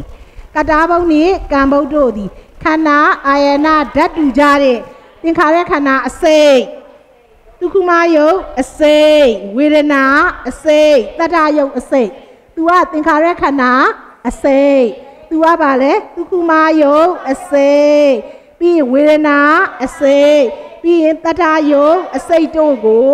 အပုတ်ပေါင်းဘယ်လောက်နဲ့ဟောလဲ69ဘုံနဲ့ဟောတယ်အပုတ်ပေါင်းဘယ်လောက်နဲ့ဟောလဲ69ဘုံနဲ့ဟောတယ်နော် အဲ့ထဲမှာဟောဒီ53ထဲမှာအဲ့53ထဲမှာဂုစကတွေကဘယ်လောက်ပါလဲဂုစကတွေက30ဂုစကတွေက30နော်ဂုစကတွေကဘယ်လောက်ပါလဲ30အဂုစကတွေက30ပါပြီကျန်တာတွေအားလုံးကအရှိရကြီးပဲနော်အရှိရဆိုအပန္ဒရာတွေကကြီးပဲဘယ်တွေကကြီးပဲလဲအပန္ဒရာတွေကကြီးပဲနော်အပန္ဒရာတွေကဒါဆိုရင်မနောက်ပြီဒီဂုစက30ကဘယ်တွေကလဲဘာဟိယမာတိကာတွေက ဘာယမာတိကာရဒါဆိုကျန်တဲ့36ပုဒ်ဒီဘယ်တွေကလဲအပန္ဒရာမာတိကာအပန္ဒရာမာတိကာအဲ့တော့ तू ကဇရုဋ္ဌနိယဆိုတဲ့အတိုင်းဟိုးဟောပုဒ်ဒီ၄မျိုးရှိတယ်တခုကဘာစိတ်လဲသင်္ခါရခန္ဓာအစိတ်သင်္ခါရခန္ဓာအစိတ်သင်္ခါရခန္ဓာအစိတ်နော်ပြီးရင်နောက်တစ်ခုကဝေဒနာအစိတ်ဘာလဲဝေဒနာအစိတ်ဝေဒနာအပြည့်မဟုတ်ဘူးပြီးရင်ဒုက္ခမယုတ်အစိတ် ဒီမှာပြီးရင်တတ္တယုတ်အစိတ်တတ္တယုတ်အစိတ်ဆိုတတ္တယုတ်ကပရိယေဝတပါးတယ်ဒုက္ခမယုတ်ကအိတ်ထိန်တွေပုရိသိန်တွေနှစ်ပါးတယ်ဝေနာစိတ်ကရှစ်ပုတ်နော်ရှစ်ပုတ်ဒီကအ58ပုတ်58ပုတ်အ58ဆိုတော့ဒီက8နဲ့2နဲ့ပေါင်းတော့30 68 68နဲ့1နဲ့ပေါင်း69 69မှာ43နဲ့15ကိုခွဲ ခွဲတော့15ဒီပါတယ်50အပြည့်ဆွဲရတာအဲ့ဒီ50အကြောင်းပြောမယ်အ sorry အဲ့50အပြည့်ဆွဲတဲ့15ပုတ်ကိုပြောမယ်1အဲ့15ပုတ်နော်သရုတ်ထနိယမှာအဲ့ဒီမ15ပေါ့တာမဤတုပမှာမအယ15အလွတ်ရရမယ်နော်အလွတ်ရရမယ်မ15အချင်းဆောင်ဘုတ်ကတာမဤတုပမ15ဘုတ်ရှိတယ်နော်အဲ့မကိုအလွတ်ရရမယ်ဆိုတော့အရင်ဆုံးသစ္စာမှ သစ္စာကမေဃသစ္စာနော်အိန္ဒြေတွေကအိန္ဒြေတွေကနော်အိန္ဒြေတွေကတမာဒိန္ဒြေဘာလဲတမာဒိန္ဒြေတမာဒိန္ဒြေဆိုရင်တမာတိဧကဂရာကိုကောက်တာတမာဒိန္ဒြေဆိုရင်82ခုမှရှိတဲ့ဧကဂရာပဲတမာတိစိတ်ပေါင်းဘယ်လောက်လဲ82ခု ဘာနဲ့ပါကျင်လဲဆိုအဝရိယစိတ်16ပါးနဲ့ဝိဇိကိစ္စသဟာကုတ်စိတ်ကိုကျင်ထားတယ်19ပါးကျင်တော့82စိတ်ဆိုတော့ तू ကဧကဂရာအကြံနေမရှိဘူးလားဧကဂရာဆိုတာစိတ်89ပါးစလုံးနဲ့ရှင်တယ်လေနော်အားကြောင့်မို့အကြံနေရှိနေတယ်နော်တမာဒိန်တွေနော်ပြီးလို့ရှိရင်တမာဒိန်တွေပြီးရင်ပြင်းငိန်တွေပြပြင်းငိမ့်တွေပြင်းငိမ့်တွေဆိုရင် तू ကလောကီ TH 39ပါးမှာရှိတဲ့ပညာပဲယူထားတာလောကီ TH 39ပါးမှာရှိတဲ့ပညာဆိုတော့ TH ပေါင်းဘယ်လောက်ရှိရလဲ48ပါးဆိုတော့ကျန်တဲ့ပညာတွေမကျန်နေဘူးလားကျန်တဲ့အကြောင်းမလို့ तू လဲ90ပဲပြီးရင်အနိညာတင်ညတာမီတိန်တွေအနိညာတင်ညတာမီတိန်တွေသည်သောတာပတ္တိမေ၌ရှိသောပညာဒါဆိုရင်ကျန်တဲ့46စိတ်မှာရှိတဲ့ပညာတွေကျန်တယ်ပြီးရင်အင်ဂျင်တွေအင်ဂျင်တွေရဟုတ်တယ်နော်အထက်မဲ့3အောက်ဖို့3နိုင်ရှိသောပညာဆိုတော့6စိတ်မှာရှိတဲ့ပညာဆိုတော့ကျန်တဲ့41စိတ်မှာရှိတဲ့ပညာတွေကျန်တယ်ပြီးရင် ပညာတာဝင်ပညာတာဝင်တွေကအရတ္တဖို့နိုင်ရှိသောပညာဒါဆိုရင်ကျန်တဲ့46စိတ်မှာရှိတဲ့ပညာတွေကျန်တယ်ဆိုတော့အားလုံးပေါင်းဒီမှာဘယ်လောက်လဲတမာဒိန်တွေရဲ့ပညာအိန္ဒြေရဲ့လောကုတ္တရာအိန္ဒြေ3ပါးရဲ့ဆိုတော့အိန္ဒြေတွေက5ပါးအိန္ဒြေတွေက5ပါးတတ္တိန္ဒြေဝရိယိန္ဒြေတတိန္ဒြေကဟိုဘက်အုပ်စုမှာပါတယ်50ထဲနေတယ်ဟုတ်တယ်နော်တတ္ထာအရာတတ္ထာကိုကောက်ရင်49ကိုဆွဲတတ္ထာသောမနာစိတ် 59မှာရှိတဲ့တတ္ထာတခြားမှာတတ္ထာကြံသေးလားမကြံတော့ဘူးဟုတ်တယ်နော်ဝရိယဆိုလဲဝရိယစိတ်83ပါးမှာရှိတယ်ဝရိယတခြားဝရိယမရှိတော့အားကြောင့်မလို့အကုန်လုံးက49တွေပဲနဲတယ်နော်ကျန်တဲ့ဒီဘိုးအိမ်တွေ၅ပါးတွေကဘိုးအိမ်တွေ၅ပါးမှာပါတာနှစ်ခုတည်းဗာလေတမာတိန်တွေနဲ့ပြင်းငိန်တွေဒီကလောကုတ္တရာအိမ်တွေ၃ပါးဆိုတော့အိမ်တွေတွေကဘယ်လောက်လဲ၅၅ပါးပြီးရင်ပြိဿသမုပ္ပတ်နော်ပြိဿသမုပ္ပတ်ပြိဿသမုပ္ပတ်ထဲမှာသင်္ခါရနဲ့ကာမဘဝ သင်္ခါရနဲ့ဗာလေကာမဘဝဆိုအားလုံးပေါင်းဘယ်နှခုရှိသွားလဲဒါဆိုရင်နှစ်ခုနှစ်ခုဆိုတော့ဘယ်လောက်လဲရှစ်သစ္စာတိအိန္ဒြေယ9ပရိစ္ဆသမုပ္ပါက2ပါးရှစ်ဆိုတော့9ပါးပဲမလို့ဘူးလားဟုတ်တယ်နော်အဲ့9ပါးဆိုတာဥပရိဒေယ9ပါးဥပရိဒေယ9ပါးဘာလဲဆိုရင်သတိပဋ္ဌာန်စတ္တရောသတိပဋ္ဌာနာသတိပဋ္ဌာနာနော်သတိပဋ္ဌာန်သတိပဋ္ဌာန်လို့ပြောလို့ရှိရင် လောကုတ္တရာစိတ်10ပါး၌ရှိသောသတိဟုတ်တယ်နော်သတိဆိုရင်ကျန်တဲ့လောကီသောမနာစိတ်ဘယ်လောက်မှာလဲ59တဲက10ကိုနှုတ်ပေါ့ဟုတ်တယ်နော်အဲအဲ့ဒီမှာရှိတဲ့တတ်ဟိုနည်းနေမကြံဘူးလားတတိတွေကြံအောင်မယ်နော်တတိပဋ္ဌာန်တမ္မပဋ္ဌာန်တမ္မပဋ္ဌာန်ဒါလည်းလောကုတ္တရာစိတ်၈ပါး၌ရှိသောဝရိယနော်ပြီးရင်တမ္မပဋ္ဌာန်ပြီးရင်ဗာလဲတတိပဋ္ဌာန်တမ္မပဋ္ဌာန်ပြီးရင်ဗာပါသေးလေ သူကသင်္ခါရခန္ဓာစစ်စစ်တွေပဲယူရမယ်သင်္ခါရခန္ဓာဟုတ်တယ်နော်တတိပဋ္ဌာန်တမ္မပဋ္ဌာန်အိဋ္ဌိပတ်ပါမလားစတ္တရောအိဋ္ဌိပါဒပါမလားသနာစိတ်တာဝရိယဝိမန္တစိတ်ကြီးနဲ့ရောနေလေသင်္ခါရခန္ဓာစစ်စစ်မဟုတ်ဘူးမဟောမပါဘူးဟုတ်တယ်နော်တခါဇာနာဓမ္မဇာနာဓမ္မလည်းရောမရဘူးဇာနာဓမ္မဝေဒနာနဲ့သွားရောတာသူကသင်္ခါရခန္ဓာစစ်စစ်မှရမယ်ဆိုတော့အဲ့ဒီနှစ်ခုမပါတော့အဲ့ဒီကိုးပုတ်ထဲဟာကြံတဲ့ခုနှစ်ပုတ်ပေါ့ ဟုတ်တယ်နော်အဲ့တော့သမပဒံအပမညာဟုတ်တယ်မလားအပညာပြီးရင်ဗာလဲဘိုးဘိုးပြင်စားပလာဟုတ်တယ်နော်နော်ဘိုးဗာလဲအိန္ဒြေနော်ဘိုးအိန္ဒြေဘိုးအိန္ဒြေ၅ပါးပြင်စိန္ဒြေပြင်စားဗလာပြီးရင်တတ္တဘုဇင်နော်တတ္တဘုဇင်ဘုဇင်ပြီးရင်ရိယောအထင်ကြီးကောမက်ကော အရင်ကြီးရောအရိယောအထင်ကြီးကောမက်ကောဟုတ်တယ်နော်အကုန်လုံးကလောကုတ္တရာစိတ်၈ပါးမှရှိရတယ်နဲ့ယူထားတာအကုန်လုံးကဘယ်မှာလဲလောကုတ္တရာစိတ်၈ပါးဆို1 2 3 4 5 6ခွန်မှာခုနှစ်ခုဆိုခုနှစ်ခုရဲ့ဥပရိယခုနှစ်ခုရဲ့ပရိစ္ဆသမုပ္ပတ်ကသင်္ခါရရဲ့ကာမဘဝအိန္ဒြေတွေကလောကုတ္တရာအိန္ဒြေ၃ပါးရဲ့ဘိုးအိန္ဒြေတွေကနောက်ဆုံးနှစ်ခုရဲ့အစတတ္တိန္ဒြေဝရိယိန္ဒြေတတိန္ဒြေမပါဘူးဟုတ်တယ်နော် အဲ့တတ္တိန္ဒြေဝရိယိန္ဒြေတတိန္ဒြေဆိုတာဟိုရွှေတောင်ကုန်းသမားဆိုသိတယ်ကွာဒါရွှေတောင်ကုန်းဆောင်ပုတ်ပဲမဟုတ်လားတတ္တာတတ္တာနဲ့တရားပါရှိလေပညာတတ္တာပြီးရင်ပါလေဝရိယဝရိယကဘယ်သူနဲ့ညီမျှရမလဲတမာတိနဲ့ညီမျှရမယ်အဲနော်ဝရိယနဲ့တမာတိက balance ဖြစ်အောင်လုပ်တတ္ထာနဲ့ပညာကလည်း balance ဖြစ်အောင်လုပ်အဲ့ဒါကိုအပေါ်ကချိန်ခွင်ညာကပါလေတတိ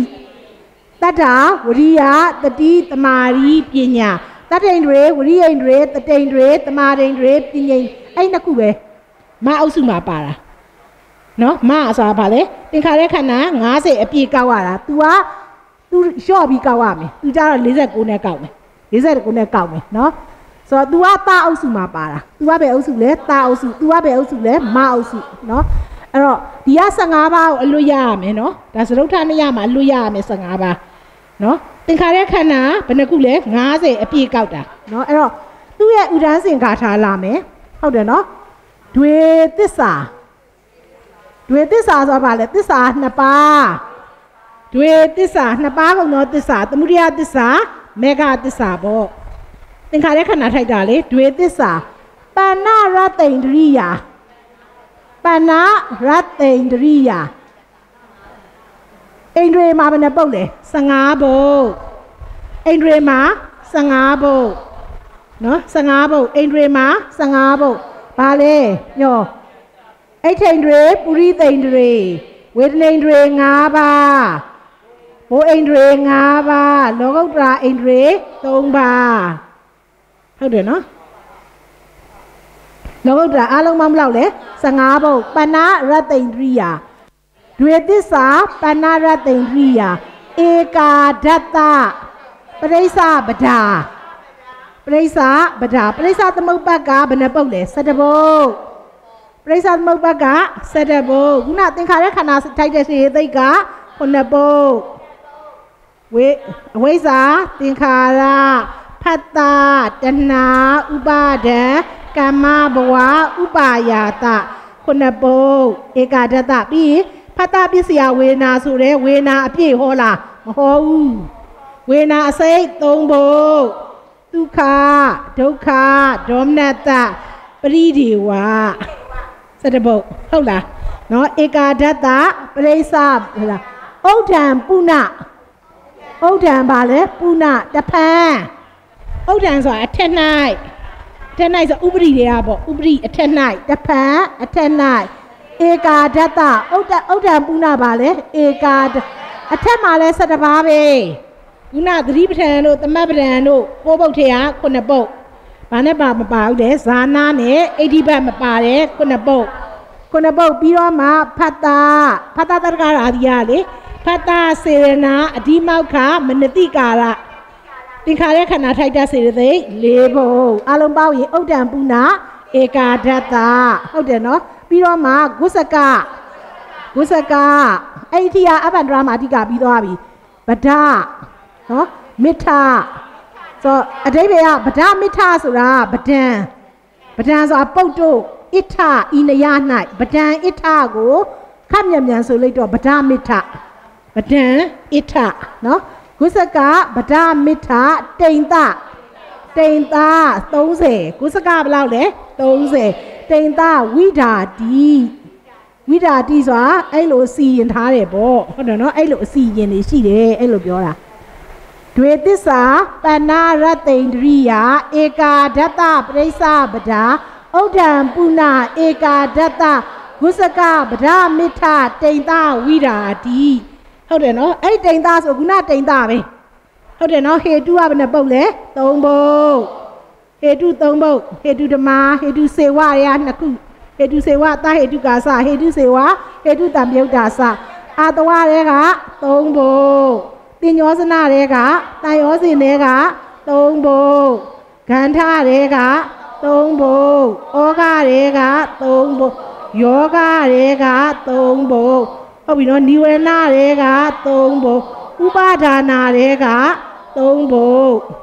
ဟုတ်ပြီနော်ပြီးတော့ပရာမာတက2ဘုံဒီကိလေသာက၄ဘုံအဲ့တော့အာတဝ၃ခုကနေဟောဤဥပါဒါနာ၃ဘုံအထိအကုန်တူတယ်အာတဝဓမ္မတင်ညောစနာဓမ္မဂန္ဓာဓမ္မဩဃဓမ္မယောဂဓမ္မပထမပုတ်ရဲ့ပထမပဒပြီးရင်ဟုတ်ပြီနော်အာတဝါစေဝတာတဝါစဟုတ်တယ်နော်တာတဝါစနော်လောကီစိတ်တွေရဲ့အာယုံလေဟုတ်တယ်နော်အာလောကီ 87 52ယုံ28နဲ့တင်ရောစနာနဲ့ကိုပြန်ပြီးတော့ပုံယူလိုက်တော့တင်ရောတန်ရောစင်တရက်ကိုပဲရတယ်နော်အာတဝါစေဝတာတဝါစအာတဝါစေဝအာတဝါတံပြုတ်တာစတင်ရောစနာဆိုလဲတင်ရောစနာဓမ္မတင်ရောစနာစေဝဓမ္မတင်ရောဇနိယာစတင်ရောစနာစေဝဓမ္မတင်ရောစနာတံပြုတ်တာစဂန္ဓာဓမ္မဂန္ဓာစေဝဓမ္မဂန္ဓနိယာစဂန္ဓာစေဝဓမ္မဂန္ဓတံပြုတ်တာ ဩဃဓမ္မဩဃစေဝဓမ္မဩဂနိယာစဩဃစေဝဓမ္မဩဃတံပြုတ်တာအဲ့လိုတွားမယ်နော်ပရမာတာမှာနှစ်ခုပဲပရမာတာဓမ္မပရမာတာစေဝဓမ္မပရမတ္ထာစကိလေသာမှာ၄ဘုတ်ကိလေသာဓမ္မ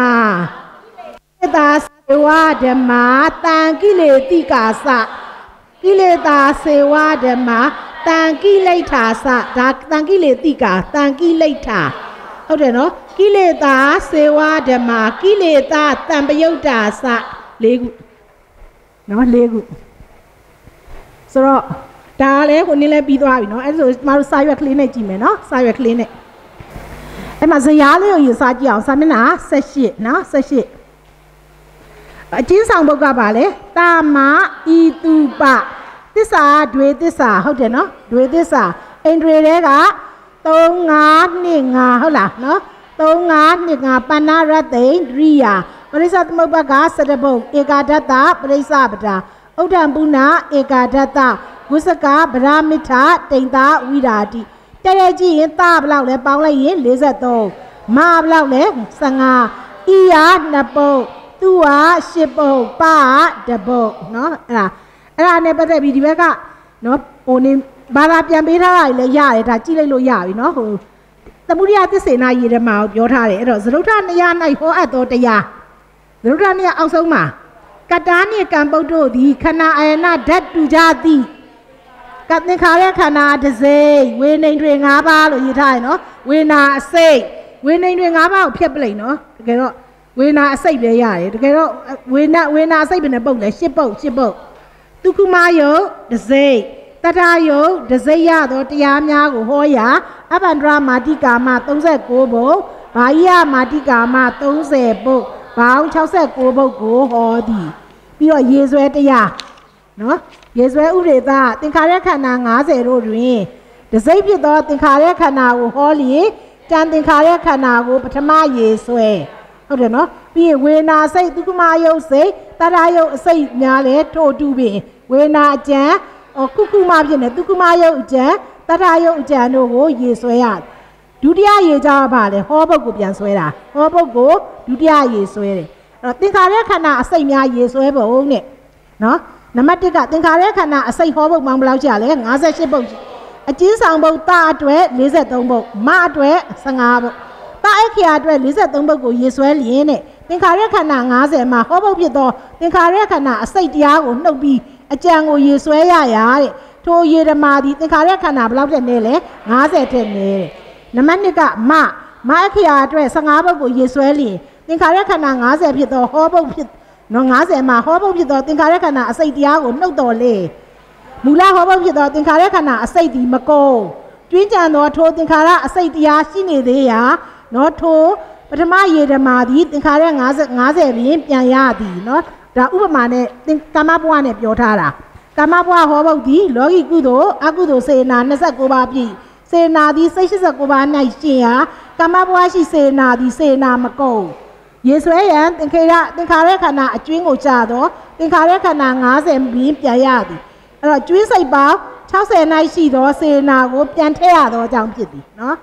နောက်တတယုတ်စိတ်ပရိဒေဝရေဆွဲပုံတတယုတ်ဒီစိတ်ကြောင့်ဖြစ်သောစိတ်စားယုတ်ဥဒ္ဒဆောင်ဖြစ်သောတဥဒ္ဒစတတယုတ်ဟုခွဲနိုင်သည်တပံစိတ်စားတတယုတ်ကိုလည်းပရိဒေဝစိတ်တစားဝိပန္လာတာတတယုတ်ဘယ်သူကြောင့်ဖြစ်တာလဲဒေါသမှုတွေကြနှင်းအပရိဒေဝစိတ်တစားတတယုတ်အရူပဝိဘက်လေဒွေ30ကျင်းကြံစိတ်83ပါးကြောင့်ဟူ၍ထက်ခွဲနိုင်သည်ထို့ကြောင့်ပရိဒေဝကိုပထမရေဆွဲပါကတန်တတယုတ်အစိတ်ဖြစ်သော အပရိဒေဝစိတ်တစတတယုတ်နှင့်ဥဒဥဒစတတယုတ်ကိုရေဆွဲရတခါမ15ပါးဟုတ်တယ်နော်မ15ပါးဆိုရင်မေဃသစ္စာသစ္စာရရပါလေတပါးတမာဒိန်တွေပညိန်တွေအနိညာတာပညာတာမီဒိန်တွေအင်ငိန်တွေအညာတာဝင်တွေသင်္ခါရကမ္မဘဝပြီးတော့တတိပဋ္ဌာန်သမပဋ္ဌာန်အပိညမညာပစ္စိန်တွေပစ္ဆဗလာတတ္တဘုဇင်ကရိယောအထင်ကြီးကောမဲ့ကော ဝိစကမှာအချို့ဟောပုံနဲ့ရေဆွဲတရားဟုတ်တယ်နော်အဲ့ဒါနည်းနည်းခက်တဲ့ဟာမဟေတုစေဝတာဟေတုကာစဆိုရင်သူကတရားမောမှုတွေ၌မောဟကျင်သောဟိတ်၆ပါအဲ့တော့သင်္ခါရခန္ဓာဘယ်လောက်လဲ45 6နှုတ်ပြီးမောမှုမောဟပြန်ပေါင်းလိုက်တာ45ဟေတုစေဝဟေတုတံမြုတ်တာစလည်းဒီတိုင်းအတဝါစေဝအတဝတံမြုတ်တာစဆိုရင်ဟုတ်တယ်နော်ဒေါနိမောနိရှိမောဟကျင်သောအတဝါ၃ပါးဆိုအတဝါ၃ဆိုနှုတ်ရင်40ခေါ် ဒေါနိမောနိကမောဟကိုပြန်ထည့်လိုက်တော့48ဩဃစေဝယောဂစေဝလည်းဒီတိုင်းပဲနော်ယောဂတံပြုတ်တာစမှာပုံမှန်လေးထည့်လိုက်နော်ပုံမှန်လေးကြံခဲ့တယ်ယောဂစေဝါယောဂတံပြုတ်တာစနံပါတ်5မှာတင်ညောစနာစေဝါတင်ညောစနာတံပြုတ်တာစအဲ့ဒါကြတော့ तू ကဥဒိစ္စတဟာကုတ်စိတ်ရှိမောဟကျင်တော့ तू ကဥဒိစ္စမောဟမပါဘူးအဲ့ဒီရှစ်ပါးထဲမှာ နော်ဥဒိစ္စမောဟမပါဘူးမပါတဲ့အတွက်ကြောင့်မလို့ तू က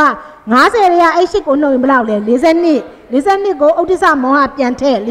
43နိဝရဏစေဝနိဝရတံပြုတ်တာစားတော့ရှစ်ပါးတဲ့တဲ့နှုတ်ပဲနော်42ပဲနော်ဥပါရဏစေဝဥပါရဏတံပြုတ်တာစားဆိုရင်ခုနပြောပြီးပြီ49နော်49ကိလေသာစေဝကိလေသာတံပြုတ်တာစားကိလေသာစေဝကိတံကိလေသာစားဆိုရင်ပါလေ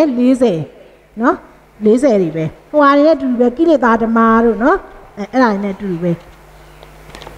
ဆိုတော့ဥဒန်းစင်္ကာထာရဲ့အ내ပေးနော်ဥဒန်းစင်္ကာထာအ내ပေးဒွေတစ္ဆာပါဏရတိန်ဒရိယာဧကာဒတ္တပရိစ္ဆပဒာဥဒ္ဒံပုနာဧကာဒတ္တဝိစကဗဒမိထာတိန်သာဝိတာဒွေတစ္ဆာ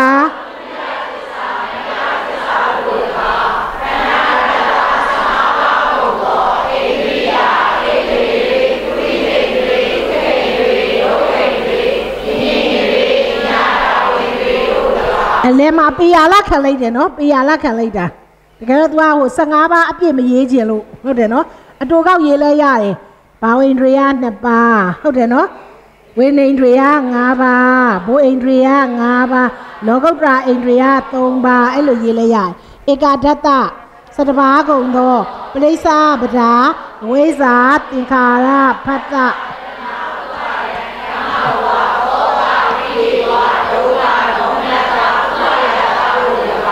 ပု နာဥဒ္ဒဧကာဒတ္တစတပြီးတော့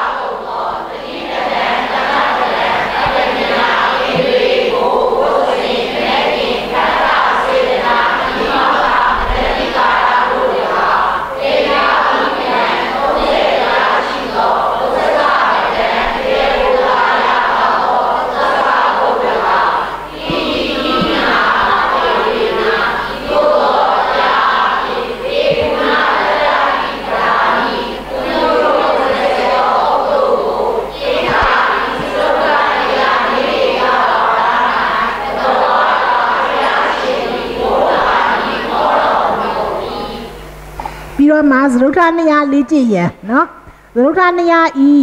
ဥဒိတပါဠိဟောဘုတ်ရေတွဲအကျဉ်းဆောင်ဘုံဟောသောတရားတို့ကိုဖြေပါနော်အဲ့လည်းရပြီအောက်ပါဟောဘုတ်တို့သည်မြည်သည့်အကျဉ်းဆောင်ဘုံအခရာအောက်တွင်ပါဝင်ပါသည်နီပထမရေဓမ္မအယတရားနှင့်ဒုတိယရေဓမ္မအယတရားတို့ကိုလည်းပေါ်ပြဇရာလေးဆွဲပြီးလုပ်ပေါ့နော်ဇရာလေးဆွဲပေါ့အကျဉ်းဆောင်ဘုံအခရာ ပထမရေဒုတိယရေဥမာဒုက္ခိန္ဒြေဆိုဘယ်အောက်မှာရှိလဲသူသူသူတမဤသူပလေသူအောက်မှာဟုတ်တယ်နော်တတ္ထိန္ဒြေဆိုရင်တာတာအိဋ္ဌိန္ဒြေဆိုရင်ဤပရိဒေဝဆိုရင်ပါအဝိဇ္ဇာတာတာ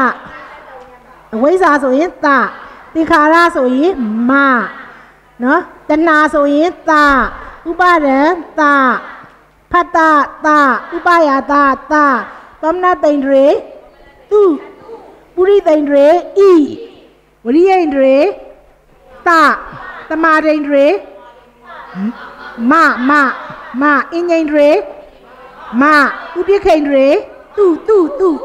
သူသူသူခိန်တွေလေသူခိန်တွေကိုစားပြထားတာဆိုတော့သူခိန်တွေနဲ့စာရာတမဤသူပသူဟာဝေဒနာကိုပြောတာ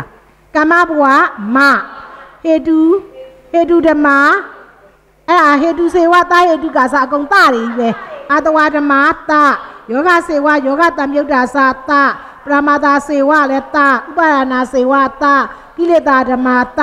ကိလေသာစေဝတံကိလေသာစာတနော်နောက်တစ်ခုကမေဃသစ္စာဟောဘုတ်ဤသရုတ်ထာနယနေတေတာပါဠိကိုရေးပြီးအ내ပြန်ဆိုပါတဲ့နော်အဲ့ဒီဘက်မှာရေးထားတယ် အဲ့ဒါဘာနဲ့ရေးပေးလဲမသိဘူးမေဃသစ္စာနဲ့ရေးလားသမုဒိယသစ္စာနဲ့ရေးလားအဲသမုဒိယသစ္စာနဲ့ရေးထားတယ်နော်အဲ့တော့မေဃသစ္စာနဲ့ဆိုကြည့်ရအောင်ညီမတို့မေဃသစ္စေနာမေဃသစ္စာသည်ရေဓမ္မာအကျဉ်မေဃသစ္စာကျင်သောသင်္ခါရခန္ဓာ90တို့ကိုမေဃသစ္စာဆိုရင်90 50တို့ကိုခန္ဓာသင်္ကေနာသင်္ခါရခန္ဓာဟူသောရေတွဲချင်းသင်္ကဟိတာရေတွဲအကုန်ဤ အာယနာသင်္ကဟေနာဓမ္မာယနာဟူသောရေတွဲချင်းရေတွဲအကုန်ဤဓာတုသင်္ကဟေနာဓမ္မာဓာဟုသောရေတွဲခြင်းဖြင့်သင်္ကဟိတာရေတွဲအကုန်တေဟိဓမေဟိထိုမေဃသစ္စာကျင်သောသင်္ခါရခန္ဓာ90ခုတို့သည်ရေဓမ္မာအကျဉ်မေဃသစ္စာတို့ကိုခန္ဓာသင်္ကဟေနသင်္ခါရခန္ဓာဟူသောရေတွဲခြင်းဖြင့် သင်္ကဟိတာရေတွဲအကုန်ဤအာယနာသင်္ကဟေနရေတွဲခြင်းဖြင့်သင်္ကဟိတာရေတွဲအကုန်ဤဓာတုသင်္ကဟေနဓာတဟူသောကေဓမ္မာထိုသမှုတိဧကေနတခုသောခန္ဒီသင်္ခါရခန္ဓာဟူသောရေတွက်ခြင်းဖြင့်ဧကေနတခုသော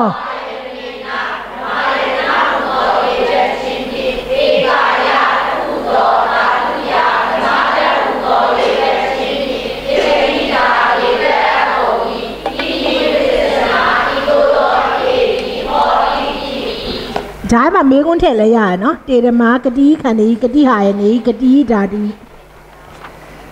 နောက်တစ်ခုကအပြီးရင်နော်မေကွန်းပြီးရင်နံပါတ်3ပြီးပြီနော်နံပါတ်4သရုတ်ထနိယ၌ပထမယေရမာယကိုသင်္ခါရခန္ဓာ90ဆွဲယူရသည်အကျဉ်းဆောင်ဘုံအခရာကအဘယ်နည်းမနော်မထိုအကျဉ်းဆောင်ဘုံအခရာတွင်ပါဝင်သောဟောဘုံအမိများကိုလည်းဖွရေအတွက်ပါဆိုရင်15ခုပေါ့နော်အဲ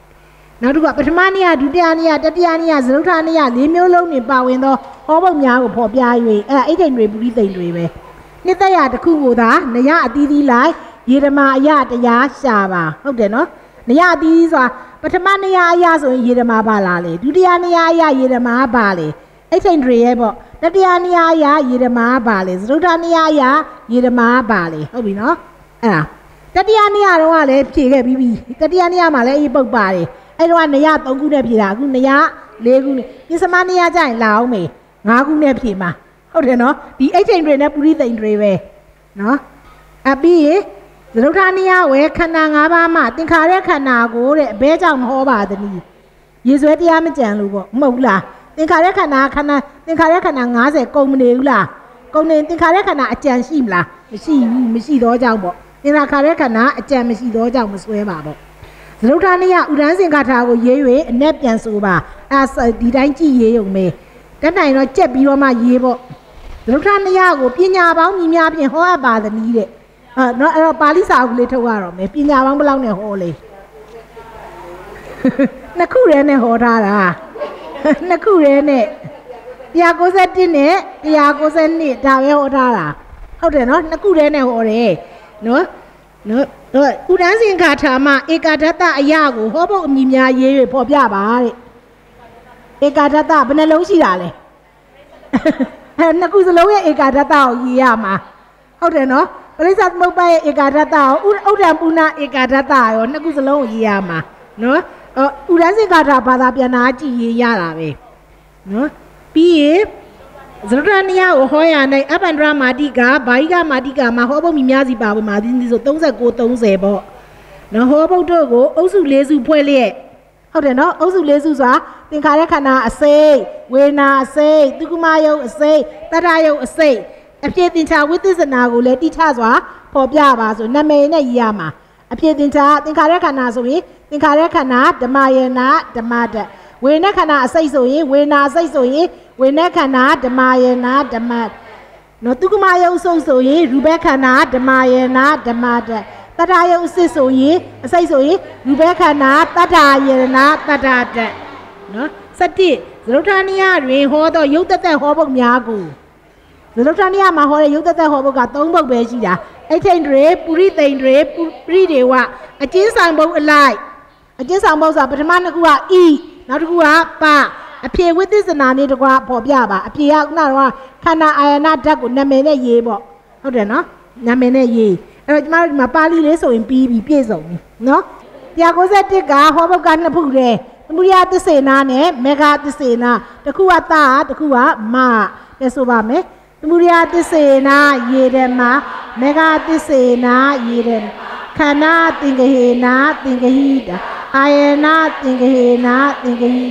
ဓာတုသင်္ကဟေနာသင်္ကဟိတေဟိဓမေဟိယေဓမ္မာ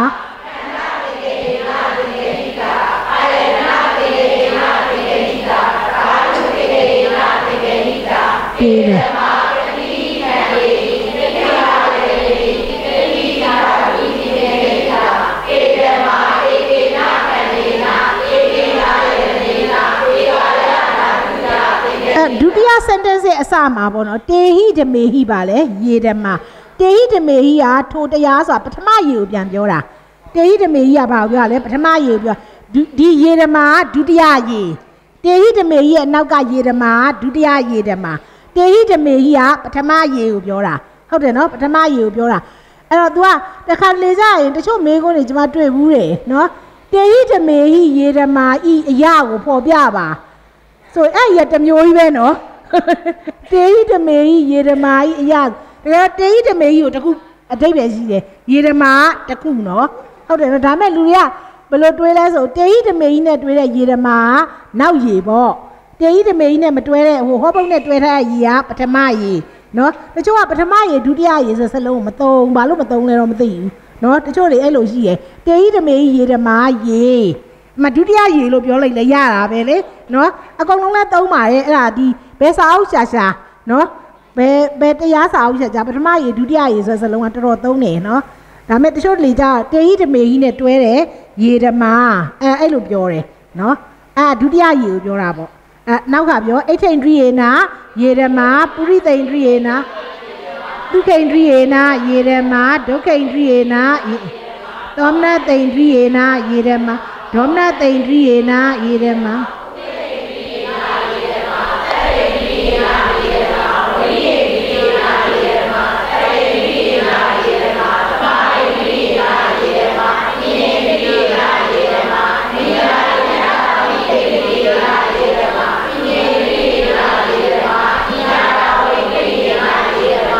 ဝိဇာယယေရမ